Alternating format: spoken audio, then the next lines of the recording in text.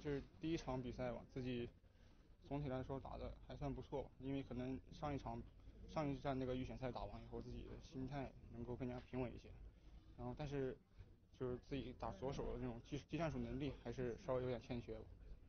可能在比赛中也是技战术能力不够强，有而且自己的那种对战战战机的把握还是稍微差一些。第二局、第三局也是一直落后，然后自己但是靠的那种顽强拼搏，就是那种不放弃精神嘛，慢慢咬咬回来还是不错。对于左手的话，之后会有什么样子的针对性训练吗？因为左手其实自己一直以来都是比较欠缺的一个问题，也一直在改变，就是打左手的一些技术特点，然后那种站位啊，包括那种战术，自己的因为我的能力还是正手稍微强一些，然后打左手可能不太能运用运用那么那么好，可能要加强反手的能力吧。